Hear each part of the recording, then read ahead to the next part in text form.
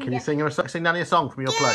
well soon, don't you say you get well soon.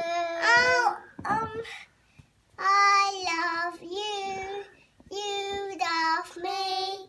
We're a happy family with a great big hug and a kiss from me to you.